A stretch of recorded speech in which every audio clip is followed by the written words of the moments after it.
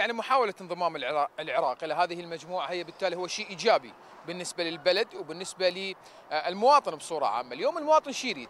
يريد اقتصاد قوي، يريد معيشة جيدة، يريد خدمات جيدة، هذا اللي يريده المواطن بصراحة، فانضمام العراق إلى مثل هكذا مجموعات ومثل هكذا أنظمة، بالتالي هو يفيد العراق اقتصاديا ويفيد العراق على مستوى الاستقرار الاقتصادي وحتى مستوى الاستقرار المعيشي. أنا أشجع الحكومة العراقية إذا كانت نواياها صادقة أن تخطو هذه الخطوات في تكوين لجان وخلايا من أجل أنه تبادر من بالدخول إلى السوق وإلى المجموعات المجموعات الاقتصادية. هي كثيرة طبعا وهذا طبعا يصب في مصلحة العراق اولا وأخيرا.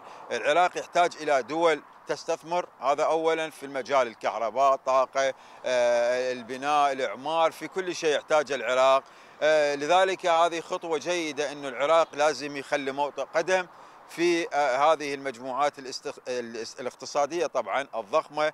ممكن تكون خطوة انضمام العراق إلى مجموعة بريكس هي خطوة إيجابية على اعتبار أنه العراق راح يتعاون مع دول أكثر من بالجانب الاقتصادي راح راح يعزز التعاون الاقتصادي مع الدول الأخرى مثل الصين وإيران عفوا الصين وروسيا. بالتالي راح يستفاد أيضا من فرص تعاون أخرى في مجال البنى التحتية مجال الطاقة وما إلى ذلك. بالتالي راح يقلل من اعتماده الكامل على الاعتماد على المنتجات النفطية ومشتقاتها. ف فممكن تكون هذه خطوة إيجابية. العراق أيضا مؤهل للانضمام لها كون العراق يعني لديه العديد من المصادر الاقتصادية المهمة والمتنوعة مثل النفط والكبريت والفوسفات والمعادن الطبيعية.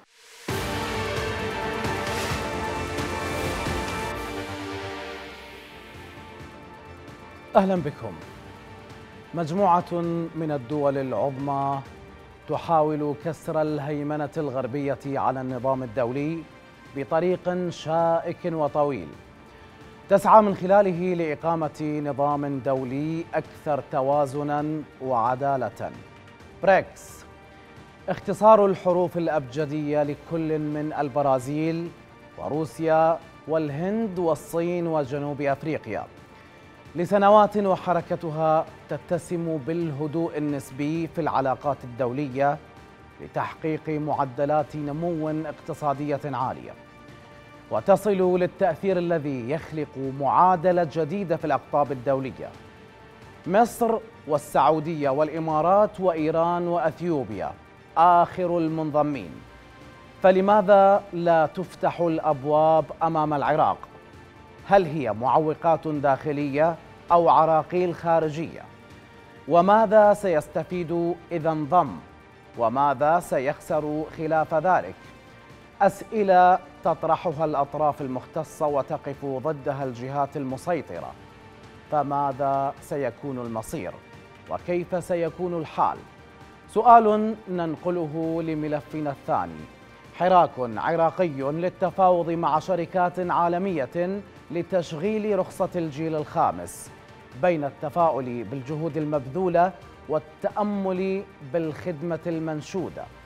فهل سيظهر الرقم خمسة على الهواتف وتصبح سرعة الإنترنت أقوى من سابق العهد؟ أم أن الحديث ما زال مبكرا للتحول الرقمي والتطور التكنولوجي والخوض في مسار الذكاء الاصطناعي؟ أهلا بكم.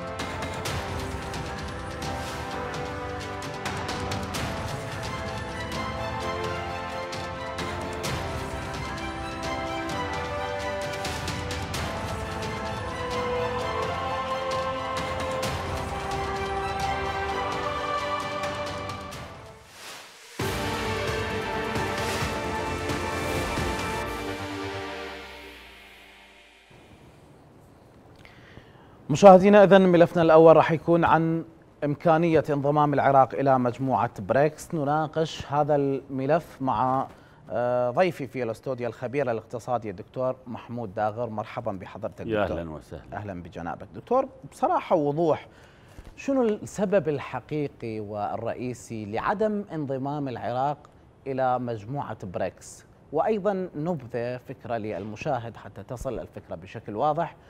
ما هي مجموعة بريكس وما هو عمل هذه المجموعة وتأثيرها في آه، المنطقة؟ تحياتي لك وتقديري لمشاهدي القناة. أهلا بجنابك. بريكس محاولة من قبل مجموعة من الدول الكبرى لتكوين تكتل آه، يخلق ثقل في المنظومة الاقتصادية الدولية آه، بعد أن هيمنت الجريت 7 الدول السبع الكبرى والتحالفات الاقتصادية الكبرى اللي تقودها الولايات المتحدة هذا التكتل آه، يضم حجم سكاني كبير. يضم دول آه، معظمها emerging آه، ناشئة صاعدة مثل الصين البرازيل الهند. بدأت تحقق ثقل في الاقتصاد الدولي. ودائما التنسيق ما بين الدول مرغوب. يعني هذا أمر يعني يجب أن لا يعتقد دائما أن إنشاء أي تكتل أو مجموعة هو خلق صراع ضد أخرى. يعني هذا لازم يصير واضح. بالاقتصاد ماكو مثل بالسياسة. نعم. بالاقتصاد ال ال ال الواقعية هي التي تتغلب في الخيار. عكس السياسة نوبات واحد صغير يظل يصيح بالسياسة ويحكي وهو يعني بالاقتصاد ما يقدر. بالاقتصاد فلذلك هو هذا المجموعة على الرغم من أنه بعض الدول في البريكس مثل روسيا آه، يعني تحاول آه، تقود بريكس إلى آه، حالة تخرجها من الوضع اللي هي بيه عندها صراع مع أوكرانيا. محاصرة دوليا عليها عقوبات مقطوع عليها نظام السويفت احتياطياتها محجوزة. فمن المؤكد أنها تستغل عضويتها يعني لهذا الجانب. فبريكس تجمع مهم آه، لدول صاعدة آه، واعدة أيضا. وباقتصاديات جيدة خاصة الهند والصين. شلون تنعكس إيجابية آه، هذه هذه المجموعة على اقتصادات الدول المنضمة؟ طبعا وراء تجمع بريكس بنك عالمي ب 100 مليار دولار. هذا يساعد على التمويل ويساعد على ترويج المشاريع التنموية لل members الأعضاء اللي منتمين إلى البريكس. وبالتالي آه، هذا العمل صحيح يحتاج لمدة طويلة ويحتاج إلى جهود وإلى اتساق أكثر لكنه بالنهاية إذا استمر كتنظيم اقتصادي بعيدا عن السياسة. أي كتكتل إنمائي كما هو. آه، آه، آه، يعني مخطط إلى بالأساس أنا باعتقادي لسنوات قادمة راح يأثر على اقتصاديات البلدان المنتمية إليه التي تستطيع الاستفادة من التحويلات البينية. جيد.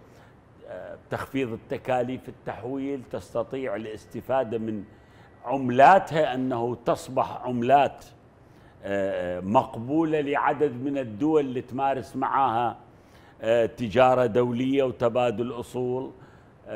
هذه أكو دكتور أكو سعي للتخلص من الدولار بالتعاملات هذه البلدان أو الأعضاء المنضمه لهذه المجموعة. شوف حتى هذه الدول ليش أنا أقول لك بالاقتصاد أكو واقعية مو مثل السياسة أحيانا؟ نعم.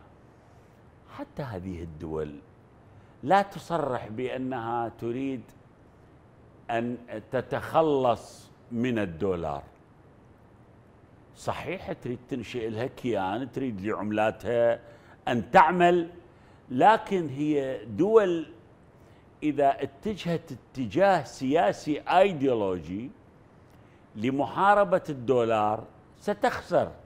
لأنها الآن لا تمتلك مقومات أنه تستطيع الابتعاد يعني الصين على سبيل المثال ثلاث تريليونات دولار عندها أصول دولارية. بالتالي من ينضرب الدولار هي أول من ينضرب. لذلك حتى تصريحاتهم أنا أتابعها نعم. والتصريحات المسؤولين بعيدا عن الإعلام هم لا يريدون هم يقول إحنا نريد أن تستقر المعاملات بيناتنا. أنه نطور البنك أنه ننشئ تكتل محترم يقوم على استهداف التنمية وتحفيز النمو ما بيناتنا وتحسين الوضع التجاري. آه، فهم لا يصرحون أنهم ضد عملة. صحيح يعني قد يلوح بوتين اللي هو أكثر المندفعين في تصريحات أحيانا سياسية بسبب أزمته. الصين أكثر تحفظ. نعم. اليابان متحفظة جدا. لا بل اليابان آه، علاقتها بالولايات المتحدة علاقات ممتازة. وكل الأعضاء الجدد اللي إجوا إلها هواهم ليبرالي. السعودية ومصر وإثيوبيا عدا إيران كلهم هواهم ليبرالي. جيد. دكتور هذه المجموعة هل تستطيع حماية أعضائها من العقوبات اللي تفرض؟ مثلا الجانب الأمريكي في حال فرض عقوبات على إحدى الدول المنضمة ليش يعني تفرض عقوبات؟ يعني هي هاي الدول مثل ما حكيت لك. هاي الدول تعرف أنها منضوية إلى آه، آه، تكتل اقتصادي أهداف اقتصادية. يعني تحرك كان آه، حمت الاتحاد أو روسيا من العقوبات. روسيا مؤسسة. لا بل هسه بجزن هي الاجتماع هذا الأخير. حمتها تريد توفر لها شبكة بديلة للسويفت لأن سويفت معاقبة به تريد توفر لها تصدير نفطها لكنه نفطها قاعد يصدر بأرخص الأسعار. باعتقادي ماكو تكتل يحمي. الدخول بصراعات سياسية لازم تنحسب. الدولار اليوم يمثل 60% آه، من السيولة العالمية. يمثل أكثر من 70% من مكونات الاحتياط العملات بالعالم. الولايات المتحدة 26% من الناتج المحلي الإجمالي العالمي تنتج. يعني شوية قريبة عن كل هالدول.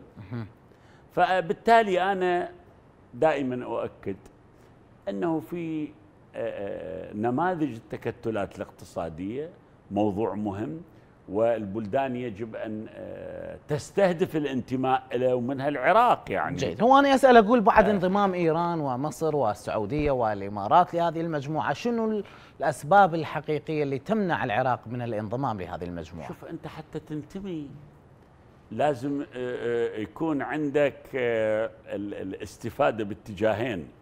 يعني إحنا منتمين إلى البنك الأوروبي كعضو مراقب. جيد. صار لنا كم سنة؟ إحنا عضو مراقب بالدبليو تي أو منظمة التجارة العالمية. لكن إحنا نشتغل خط واحد العراق. العراق على يعني صعيد المنظومة الدولية التجارية هو يصدر النفط والنفط خارج إطار التكتلات. النفط خارج إطار التكتلات. يسعر باعتبار أنه الأوبك تسيطر على 30% ويسعر بالدولار فهو خارج. العراق ماذا يستطيع أن يعطي هذه المجموعة؟ لكي يستطيع أن يستفيد منها. العراق آه، آه، مشكلة التنويع تقف حائلا دون توسع علاقاته الاقتصادية. لكن من الممكن بناء علاقة ولا أعتقد أكو شيء يعوقه ولا أكو قرار دولي ولا أحد ضده إذا يريد ويتخذ القرار باعتقادي آه، من الممكن لكن لازم تنحسب. يعني منظمة التجارة العالمية على سبيل المثال. إحنا باشر إذا نصير أعضاء الآخرين سيستفيدون منا ونحن لن نستفيد منهم. لأن إحنا مستورد صافي. إحنا بس نستورد مدين. بالتالي آه، آه، يعني ما راح نحقق الفائدة الكاملة. مصر عندها صادرات إيران دولة بها تنويع آه، العراق. ما زال اقتصاده خاليا من التنويع لكن هذا ما يمنع انضمامه يعني حتى و... ليستفيد من المصرف التنموي الكبير. حتى وإن كان عضوا سيكون عضو غير فعال. يعني ما يحقق حالة نتيجة انتماء ما يحقق آه، فوائد اقتصادية كما تحققها الدول الأخرى. لأن أنت اليوم حتى تنتمي إلى كيان قوي يجب أن تكون قويا بذاتك. أنا أحكي اقتصاد ما أحكي نعم. سياسة.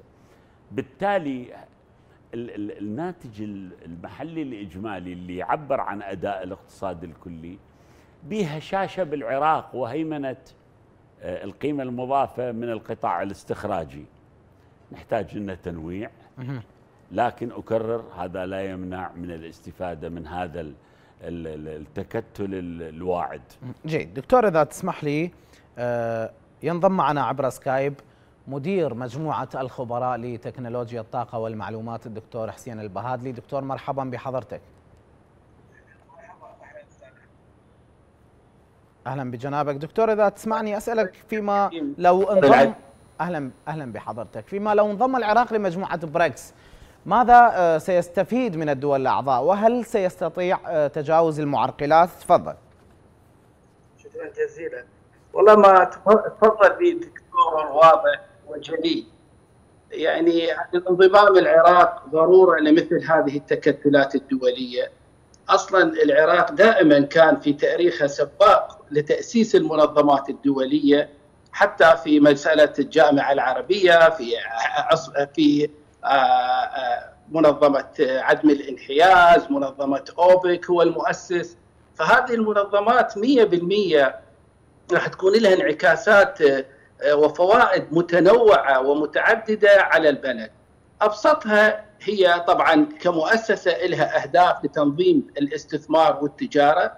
ومثل ما تفضل الدكتور هم أسسوا بنك اللي هو ال NDB ال New Development Bank برأس مال آه، كبير جدا لغرض دعم الاستثمارات ودعم التجارة آه، في الدول الأعضاء وكذلك مع الدول آه، العالم الثالث المختلفة.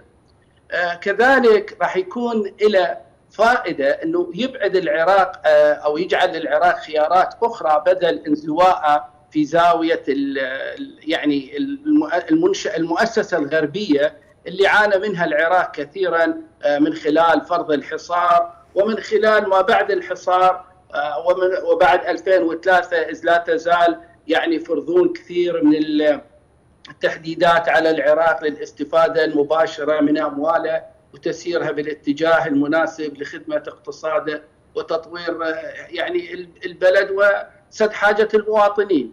فالعراق يستفيد يستفيد من خلال آه، بمشاركة هاي الأعضاء واللي يعني للأسف إحنا افتقدناها الاستفادة من المنظمات الدولية بعد 2003 بشكل كبير جدا. وهذا يعود لأسباب هسه ما نريد نتناقش بها بس ضروري أن العراق يعد عدة جيدة من الخبراء والاختصاصيين اللي يجيدون أيضا عمليات التواصل وفق المنظور العالمي الحديث باستخدام التكنولوجيا ومكوناتها من أجل أن يخلق فرص أما فرص استثمارية يستقطبها إلى داخل البلد للتنمية أو فرص استثمارية هو يستثمر بها بالخارج من أجل أن تكون عائدات دخل قومي إضافي للعراق في حالة تعثر النفط لأي سبب كان. يعني العراق إلى اليوم اذا اذا دكتور شنو اللي يمنع العراق من الانضمام؟ اذا اذا شنو اللي يمنع العراق من الانضمام إذا نتحدث عن كل هذه المزايا؟ لا. في بلد ينتج 4 مليون خلينا نقول بالمعدل يوميا. لكن انضمامه بهاي المؤسسات راح يطور حتى مؤسساته المالية. واللي جيد جيد دكتور. نتمنى إنه شوية بالعراق يصير الانفتاح والخروج من الهرمية والخروج من العمودية في البناء الدولة، يعني العراق ماذا يعاني الآن على مدى 20 سنة؟ طبعا هاي ال 20 سنة هي امتداد ل 40 سنة مضت اللي هي امتداد نظام شمولي. الآن إحنا تحولنا من نظام شمولي ومعروفة سياساته إلى المفروض نظام ديمقراطي ولكن سياساته صارت أكثر سوءا من النظام الشمولي، ليش؟ لأنه دائما هنالك جهة واحدة تسيطر على كل قرارات البلد في كل مكان، يعني الآن إحنا نريد نتحرك على بريكس، المفروض أكو مؤسسة أخرى تعمل بخبراء مختصين من أجل كيف ننضم إلى بريكس. هذه ما تكون مهمة إضافية على وزارة المالية أو على وزارة التجارة أو على وزارة التخطيط أو على البنك المركزي، ليش؟ لأن هذه مؤسسات أصلا منهكة أصلا مؤسسات مشاكلها كبيرة جدا لا تعد ولا تحصى وبالتالي هي غارقه في حل مشاكلها. ما بتقدر الآن تمتلك وقت حتى إذا نريد نقول أقل شيء جيد. للنظر في كيفية الاستفادة والعمل ضمن هذه المؤسسة الدولية. جيد. فهذا ما نقوله ونتمناه الانضمام ضروري وتفضل الدكتور بأسباب والأسباب واضحة. تخلق للعراق فرص استثمار، تخلق له حرية، تطور كفاءاته من خلال الاحتكاك، ينفتح اقتصاديا على دول الآن هو منعزل عنها آه مثلا وبالتالي يساعد على تنمية اقتصادية آه تعطيه حرية لربما مثل ما قلت يجذب استثمارات من خلال الان دي بي بانك لتمويل مشاريعنا الاستثمارية اللي يحتاجها العراق. دكتور صوتي واضح يم جنابك؟ إي نعم أنا أسمعك الآن أنا أسألك إذا تنطيني مجال للمناقشة إذا ذكرت كل هذه المزايا شنو اللي يمنع العراق من الانضمام اليوم؟ وأيضا رأي الدكتور كان حتى لو انضم العراق ربما سيكون عنصر غير فعال أو غير ناشط في هذه المجموعة. آه نعم صحيح. ليش؟ هو اللي يمنع العراق شنو؟ هسه لو أنا اتفقت معك من الذي من الذي يتولى دراسة الملف وإعداد ملف الانضمام؟ من؟ البنك المركزي؟ هل البنك المركزي الآن بكفاءات مفرغة بما يكفي لغرض دراسة هذا الموضوع والانضمام؟ هذا واحد رقم اثنين هل أنه في وزارة المالية؟ هذا اثنين هل في وزارة التخطيط؟ لا المشكلة هذه مثل ما ذكرت لك وزارات ما عدها ولذلك هي أبسط شيء شو تقول؟ ما يفيدنا إن تركه وتترك الموضوع لأن هي غارقة في مشاكلها، لكن إحنا عندنا دولة وعندنا رئاسة وزراء، رئاسة وزراء تتبنى تأسيس هيئة أو مش مو هيئة لجنة مختصين كبار لدراسة وإعداد ملف الانضمام بالتشاور مع الجهات ذات العلاقة في الدولة وفي الحكومة. هذا راح يساعدنا. زين إذا انضمينا وفق الرؤية الحالية أنا 100% أتفق مع الدكتور ما راح نستفاد، ليش؟ الكفاءات الموجودة سوف لن تكون مساهماتها أكثر من حضور مؤتمر العام والاستمتاع بالأسبوع السفر ومشاهدة ما مشاهدته، لكن هل ستذهب بملفات معدة للاستفادة لمشاركة الاستثمار؟ هل ستبحث من خلال البنك عن الفرص الاستثمارية لزج العراق بها وتشغيل جزء من أمواله حتى تحقق لنا عادات بالمستقبل؟ أنا متأكد لا. ليش؟ لأن الناس اللي بالهيكل الإداري إحنا نعرف تعيينهم اجى بأي طريقه وهؤلاء غير مهيئين لا لدراسة ملفات عالمية تعد وفق المعطيات الحديثة في التكنولوجيا ولا التواصل معها بشكل جيد. آه يعني آه جيد وبالتالي يعني نفقد الفرصة الاستفادة. جيد، دكتور محمود أعود لحضرتك. لما تكون دول مثل الإمارات ومصر والسعودية مشاركة منضمة لهذه المجموعة ويكون تكون مشاركتها فعالة، شنو اللي يمنع العراق اليوم أن يكون فعال؟ وشنو اختلافه عن هذه الدول اللي تحدثت عنها؟ ومثل ما ذكر الدكتور أيضا هناك خلل في مؤسساتنا المالية، شلون تقيم هذا؟ أكرر لا يوجد ما يمنع. ووزارة الخارجية لديها دوائر مختصة بالجانب الاقتصادي وبالعلاقات والتعاون مثل ما آه، ملف الانضمام إلى البنك الأوروبي آه، تم إنضاجه واستطعنا الحصول على عضوية في باعتقادي من ناحية الانضمام لا يوجد ما يعوق الانضمام مطلقا. آه، لكن المهم مو الانضمام فقط المهم كيف نستفيد من البريفيليجز اللي يمنحها أن هذا التجمع الاقتصادي العالمي. يعني أنت آه، آه، دول مثل الإمارات تصدر وتستورد مع العالم كله. آه، مصر عندها صادرات واستيرادات مع العالم كله وعندها استثمارات خارجية مثل ما الإمارات عندها استثمارات خارجية. المهم البلدان تختلف في مراحل النمو لكن كل واحد إذا استطاع أن ينضج ويهيئ ملف الانضمام المرفق بمشروعات ومقترحات فعالة للعراق أعتقد نستطيع الاستفادة يعني حتى لو مو بالأمد القصير بالأمد هو أنا أريد أسألك متى يكون العراق جاهزا للانضمام لهذه المجموعة ويكون مؤثرا بانضمامه؟ يقول لك مو جاهز هو الانضمام كعملية مو مشكلة. لا نريد يكون لما مثل مشارك يكون مؤثر. إي أن يكون مؤثر مثل ما قلت لك اقتصاده يجب أن يتنوع علاقاته الخارجية بالتجارة بالاستثمار. ليش هسه إحنا العراق؟ آه، يعني يمكن خلال هالسنتين شوية شهدنا حركة بالاستثمار الأجنبي.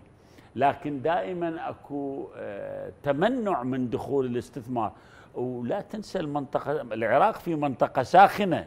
يعني الآن آه، حتى المستثمرين العراق في منطقة ساخنة. نعم. يشوبها عدم الاستقرار السياسي والاقتصاد لا يستطيع أن يعمل مطلقا مع عدم استقرار سياسي. جيد. دكتور حتى أنتقل آه، على الصعيد الداخلي شلون تقيم أداء البنك المركزي والمؤسسات اللي تحدث عنها الدكتور حسين؟ نعم. وادائها آه، وتأثيرها على الوضع الاقتصادي. يعني يمكن دكتور حسين آه، تفضل وأدلى بدلوة. فعلا إحنا نحتاج مزيد من العمل. أكو مشاكل عندنا غير محلولة. عندنا مشكلة دين. عندنا مشكلة عدم استقرار العملة إلى حد ما. عندنا آه، آه، مشكلة كبيرة اللي هي إن جل إيراداتنا من صادرات النفط توزع رواتب وتذهب إلى السوق لاستيراد سلع أجنبية. بالتالي عملية التنويع الاقتصادي اللي أنا أقول هي الوحيدة أو هي الكفيلة بأن تجعلنا قادرين أن نستفيد من هذا التجمع شوية عندنا بطيئة. جهود أكو نوايا طيبة موجودة لكن إحنا مغرقين بالسياسة السياسة ماخذة من عندنا شوط كبير ومعرقلة كل الوضع الاقتصادي جيد بهذه النقطة خلي انتقل لدكتور حسين، دكتور حسين عملية التنويع آه، كيف لها أن تنجح في العراق؟ آه، لماذا لم يتم التحرك بهذا الاتجاه؟ وأيضا آه، أسألك هل العراق اليوم مكبل أموال العراق أسيرة الفيدرالي الأمريكي أم أنه يستطيع التحرك بأريحية؟ شكرا جزيلا أستاذ على سؤالك هو اولا آه، العراق مكبل لو بدينا بالإجابة من الأخير بشكل كبير جدا للاستفادة من أمواله لكن أيضا في هذا جانب يرجع على الجانبين السؤالين اللي قبلها اللي هو هو العراق إدارة الدولة بعد 2003 بصراحة دمرت البنى التحتية للدولة العراقية وليس للنظام السابق. يعني شايف شلون؟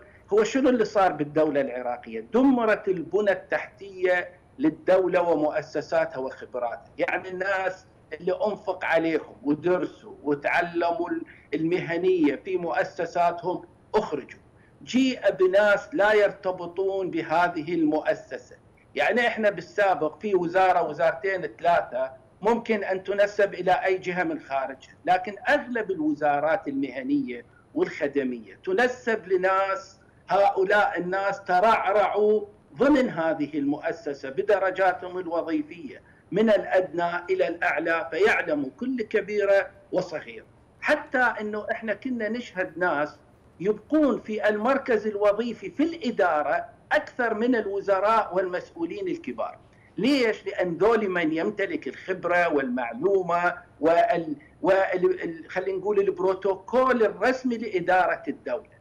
هذا كله افتقدناه في العراق بعد 2003 وجاءت إدارات هاي الإدارات خل ولدت الشك لدى الإدارة الأمريكية اللي خلتها تحرص على أن تحجز أموال العراق ليس طمعا فيها، أمريكا ليس بحاجة إلى 100 مليار دولار، هي صرفت على إسرائيل بهاي السنة ما يعادل ال 100 مليار. هي واوكرانيا، لكن وين المشكلة؟ المشكلة إنه الأداء العراقي خلال 20 سنة ما بين أي إضافة تقدر تقدرها على إنها إنجاز في العمل، ابدا ما كان موجود، يعني تخيل في دولة إلى الآن بعد 20 سنة وأنا ممكن أطلع لك إعلان من الوزير الأول للثاني للثالث في الصناعة كان يدعو إلى الاستثمار والاستفادة من المعامل المتوقفة والاستفادة منها للتصدير.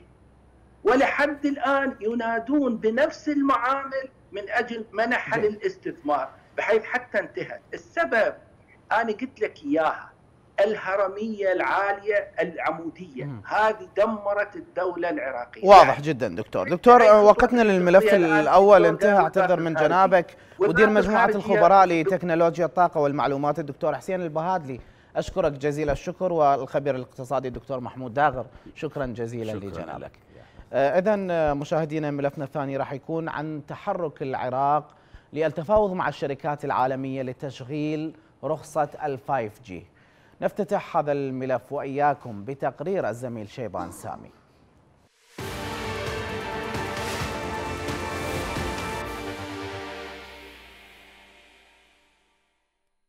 تسعى وزارة الاتصالات على إجراء مفاوضات مع كبرى الشركات العالمية ذات الخبرة الرصينة في مجال الاتصال.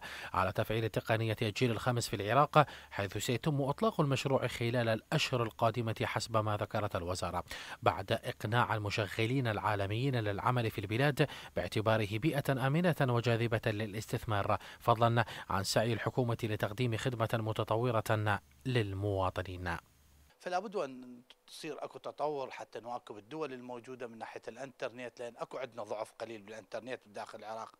والجيل الخامس إذا الحكومة أسعت اليه وكمل بإذنه تعالى أعتقد انه حتكون خطوة تحسب لهم خاصة هم هاي الحكومة. هسه حكومة تطور وحكومة بناء لأن حكومة السوداني قاعد يعني تجتهد بهذا الشيء. دخول شركة وطنية لقطاع الاتصالات خطوة يراها مواطنون بالاتجاه الصحيح من خلال توفير خدمة اتصال متعددة للمشتركين وخلق منافسة قوية بين الشركات المحلية لتقديم أفضل العروض المناسبة للزبائن إضافة إلى تحقيق مردود مالي إلى خزينة الدولة. والله خطوة جيدة هي هاي يعني تفتح شركة اتصالات تنافس هاي باقي الشركات. يعني عندك باقي الشركات يعني خدماتهم يعني ياخذون هواي رصيد يعني ياخذون هواي رصيد خاصة خدمة الإنترنت وال four G وذن كليتن يعني ياخذون هواي أكثر من اللازم لأنه هذه آه، كل حكومات العالم تعتمدها. لأن حتى يصير آه، هم تنافس زادا الشركة الحكومية تعتبر رقابية على الباقيات. وموضوع الاتصالات صار هو يعني شريان الحياة بالعالم كل بالوقت الحالي. يعني أول قطاع أول قطاع آه، تتنافس عليه بالعالم كله حكومات العالم كله هو قطاع الاتصالات.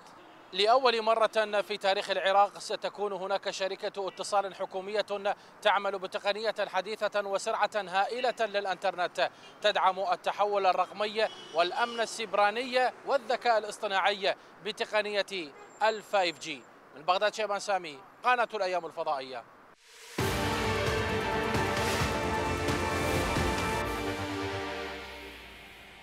إذا مشاهدينا نناقش ملفنا الثاني مع ضيوفنا الكرام خبير الاتصالات والتكنولوجيا الدكتور عمار العيثاوي. مرحبا بحضرتك دكتور. أهلا بجنابك.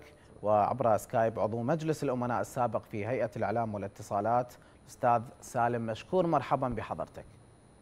أهلا وسهلا أهلا, أهلا بجنابك. دكتور عمار أبدأ مع حضرتك أنه آه، هل العراق اليوم جاهز للتحول من الجيل الرابع إلى الخامس؟ ما هي الحاجة الفعلية لهذا التحول؟ تكلفة, تكلفة هذا التحول وأيضا هل لدينا القدرة والبنى التحتية والأموال الكافية للانتقال من الجيل الرابع إلى الجيل الخامس؟ شكرا جزيلا على استضافتي وهذا الموضوع المهم جدا وأتوقع هو الآن يعني صار فترة شاغل آه، المواطن العراقي وحديث الشارع. صراحة إحنا جل أمنياتنا أن يعود العراق إلى موقعه الطبيعي ويستخدم التقنيات الحديثة في جميع التطبيقات. وتعرف شبكة جيل خامس تعتبر من أحدث التقنيات في مجال الاتصالات. نعم.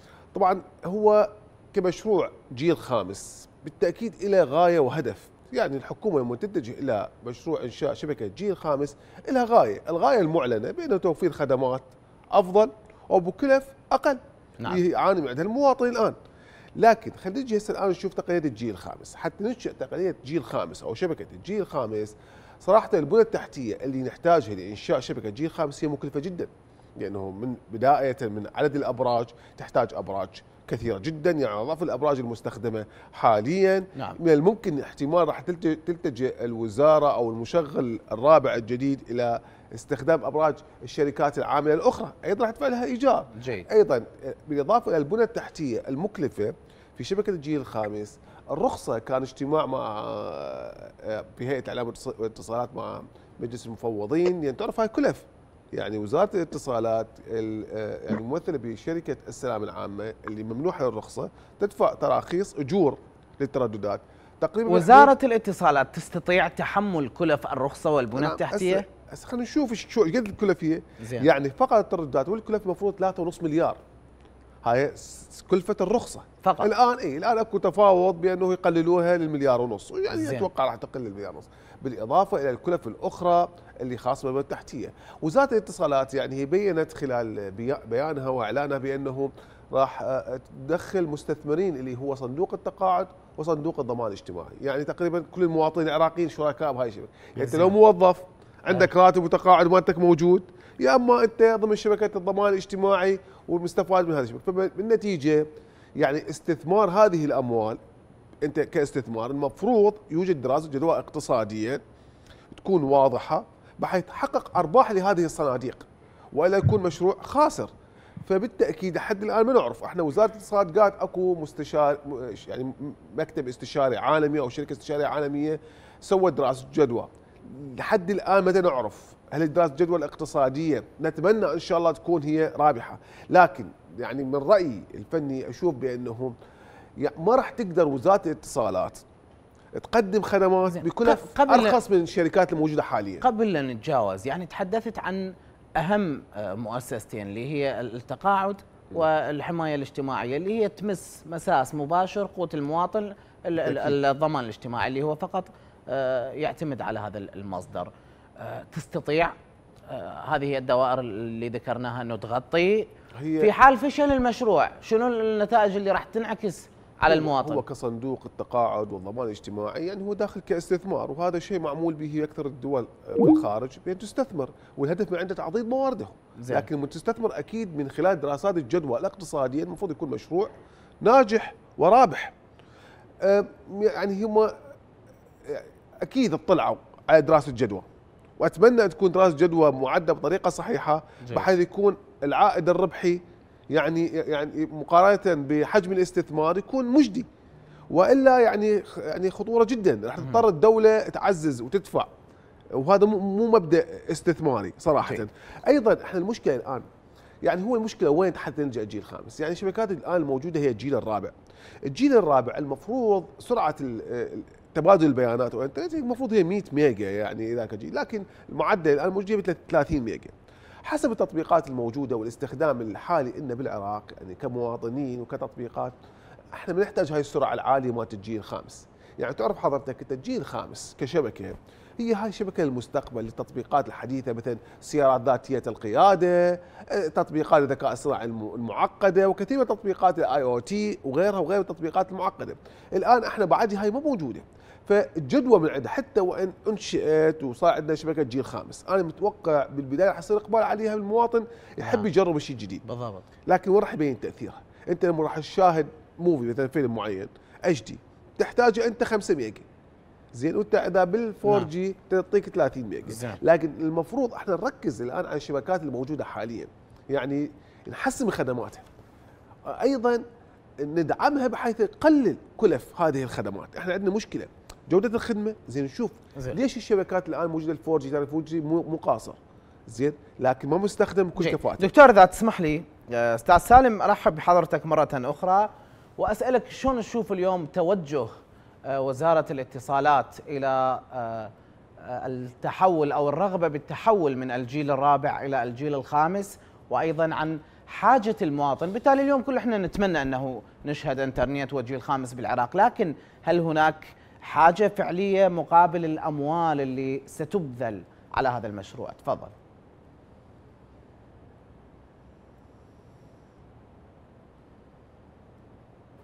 تعرف أن الصين بدأت تجربة الجيل السادس الآن وسيدخل حيز التنفيذ والاستخدام العام خلال الثلاثة أو أربعة أعوام ونحن ما زلنا في الجيل الرابع والأعرج، جيل رابع أعرج ليس جيل رابع حقيقي. آه، هناك مشكلة حقيقية في الإنترنت في العراق اسمه جيل رابع لكن الخدمة سيئة جدا هناك شكاوى دائما ولذلك أسباب ويطول الحديث آه، والبحث فيها الآن. لكن أنا أسأل إحنا آه، اقتصاد اشتراكي نظام اشتراكي أو اقتصاد حر؟ هذا سؤال رئيسي ومفصلي. في الاقتصاديات الحرة الدولة لا تقدم خدمة. القطاع الخاص هو الذي يقدم الخدمة. والدولة تراقب تنظم وتراقب وتحاسب على التقصير في أداء الخدمة. الشركات الموجودة شركات الاتصالات الموجودة قطاع خاص حاليا ليش لماذا إضافة شركة نسميها وطنية وهذا الاسم أنا برأيي يعني اسم خادع اسم خادع شنو يعني وطنية شنو يعني وطنية أي قطاع عام عندنا إحنا يستطيع الآن أن يقدم خدمة حقيقية الخدمة الشركة الخاصة عندما يحدث هناك خلل في أحد الأبراج تبادر إلى إلى إصلاحها خلال ساعات نعم. ربما أقل خلال ساعة ساعتين لكن الشركة العامة هذا موظف لا يهمه أن يتم الإصلاح بسرعة وقد ينتظر الرشوة حتى يبادر بأداء واجبة. هل هل إحنا شبكة الأرض اللي كانت هل كان الانقطاع فيها في الخطوط يتم إصلاحه بسرعة؟ لا. دائما في ظل تفشي هذا الفساد في ظل الترهل الإداري في ظل الروتين الموجود المؤسسات العامة لا تقدم خدمة جيدة ابدا. لكن بنفس الوقت أستاذ سالم إذا تسمح لي البعض يقول لك هذه مليارات الدولارات آه شلون ممكن اني أسلمها لشركات أهلية ويصير بيها مثل ما صار مع شركات الاتصالات والى الآن يعني الدولة يعني تطلبهم مليارات شنو يعني؟ من قال إنها مليارات الدولارات؟ اولا لا لا, وجود لتأكيد على أنها مليارات الدولارات. نعم الرخصة قيمتها قد تكون مليار قد تكون أقل أكثر ولو أن الاتجاه العالمي اليوم في الدول الاقتصاديات الحرة هو تقليل سعر الرخصة لكي تمكن الشركات من تقديم خدمة بأسعار منخفضة. آه، الشركات التي العاملة الآن هي لم تأخذ من الدولة شيئا، هي اشترت الرخصة بمليار و250 في حينها، بعد ذلك الأسعار بدأت تنخفض لأن كما قلت لك الاتجاه العالمي هو لتخفيض أسعار، هناك مشاركة في الأرباح، مشاركة في العائدات من قبل الحكومات أو الهيئات المنظمة. العراق يأخذ من الشركة الوطنية مسمى وطنية يعني وطنية أقصد ملكيتها عراقيه تأخذ يأخذ 15% من ال من الإنكم من العائدات وليس من الأرباح بما يقترب من 50% من صافي الأرباح. هذه تأخذها خزينة الدولة من خلال هيئة الإعلام والاتصالات. لا شيء. لكن تقول لي أن هذه الشركات أدت عملها ووظيفتها قدمت خدمة جيدة أقول لك لا. تسألني لماذا؟ أقول لك لأن الفساد هو الذي يعيق تقديم الخدمة. هذه الشركات تستظل بسياسيين وبمسؤولين آه، لكي يضمنوا لها الغطاء وعدم المحاسبة من قبل هيئة الإعلام والاتصالات مقابل مصالح معينة تؤديها هذه لأشخاص أو لأحزاب أو لكتل معينة وهذا ما شهدناه خلال السنوات جيد خلي خلي نرجع لموضوع المشكلة. نرجع لموضوع الجيل الخامس والرابع. آه ليش ما اليوم نضبط الجيل الرابع؟ إحنا حتى نفكر بالانتقال إلى الجيل الخامس. آه هذا ما أقوله. ساقول أن حتى لو جئنا جلبنا الجيل العاشر بوجود الفساد وعدم المحاسبة وعدم محاسبة الشركات لن نستفيد شيئا ستبقى الخدمة عرجاء دائما. ما نريده هو أن تكون هناك خدمة جيدة، خدمة جيدة لا تأتي من مؤسسة عامة، مستحيل. طيب وبعدين هناك تناقضات في حديث السيدة الوزيرة. مع احترامي الكامل وتقديري لشخصها الكريم، لكن أنا أتكلم عن اداء وعن تصريحات، مرة تقول العائدات تعود كلها إلى الدولة، وهذا الكلام يراد به خداع السذج حقيقة. طيب شلون شلون ترجع العائدات للدولة؟ وفي نفس الوقت تقول أنه تم تشكيل لجنة لجلب شركات أخ... شركات عالمية مرموقة، طيب شو راح تسوي هاي الشركات؟ شنو وظيفتها؟ وأكو شركة راح تجي تشتغل في سبيل الله وتقول له الأرباح كلها تفضلوا أخذوها أنتم يا دولة؟ وين أكو شيء؟ شنو شنو معنى الشركة الجاية؟ تدخل شركه لو يعني أنا اطلعت على تفصيل المقدمة ممكن تجهز ممكن تجهز بنى تحتية هذا كلام لا طائل له لا يمكن أن تقبل أي شركة عالمية بالشروط التي وضعتها الوزارة جيد إذا تسمح لي دكتور عمار أرجع لحضرتك. آه، أستاذ سالم يعني وضح نقطة مهمة جدا وقال إنه الشركات أو الحكومة آه، لا تقدم خدمة مثل ما تقدمها الشركات الأهلية، بالتالي اليوم أي عطل نشوفه يصلح في ساعة أو ساعتين في كان في حال لو كان القطاع الخاص يعني يلتزم هذا الموضوع، هل تستطيع الحكومة أن تنجح فيما لو ذهبت بالاتجاه نحو الجيل الخامس وبرعايتها في توفير خدمة والسيطرة عليها وتقديمها بأفضل شكل للمواطن؟ يعني صراحة أتفق آه، في آه، حديث بالحديث مع السيد مشكور آه، سالم مشكور في كلامه مثل ما تفضل أول شيء هي الوزارة قالت هي شركة وطنية وزين نفس الوقت قالت إحنا راح ندور ونجيب شريك مشغل. يعني راح نشغله إحنا كمواطنين كمستخدمين ما راح نشوف الوزارة راح نشوف المشغل هو اللي راح يتعامل ويانا. زين وين الوطنية بالموضوع؟ الرخصة يعني هي شركة قطاع خاص. والمستثمر عفوا قطاع عام شركة السلام. والمستثمرين أموال التقاعد والضمان الاجتماعي. موقع الوزارة يعني هسه شركة شنو حاطيها شنو دورها؟ شو راح تسوي؟ زين. يعني ما تعرف شنو دورها مجرد حلقة إضافية. كان الاجدر الاجدر أنا أشوف من وجهة نظري الحكومة إذا تريد تستثمر هذا القطاع تشكل يعني شركة استثمارية أو أو صندوق استثماري مثل ما سوت السعودية آه، الإمارات شكلوا صندوق استثماري سيادي. وهاي الأموال الاستثمارية السيادية يكون إلى مجلس إدارة يشتغل مشاريع استثمارية. يعني ياسس شركة مثل حاله حال القطاع الخاص. ويدخل في منافسة مع الشركات الأخرى سواء كان في قطاع الاتصالات أو القطاعات الأخرى. بهاي الحالة ممكن ممكن الحكومة تقصد إنه هذه الشركة آه، تكون مشاركة أو شركة استشارية أو شركة تجهز البنى التحتية أو لا شركة لا مشغلة؟ لا لا قال شركة مشغلة. المشغلة هي راح تكون مسؤوليتها إدارة وتنفيذ والتسويق أيضا المفروض كان شركة مشغلة. دور الحكومة شنو؟ هل راح تتدخل مثل بالتسعيرة؟ هي ناس سؤال يعني راح تجبر الشركة المشغلة بتقول أنا التارف مالتي أو التسعيرة للمكالمات تخليها بقيمة معينة وهاي القيمة يجب أن تنافس المشغلين الموجودين حاليا. زين. الشركة المشغلة بالنتيجة إذا هي كانت شراكة وياها أكيد تريد تحقق أرباح.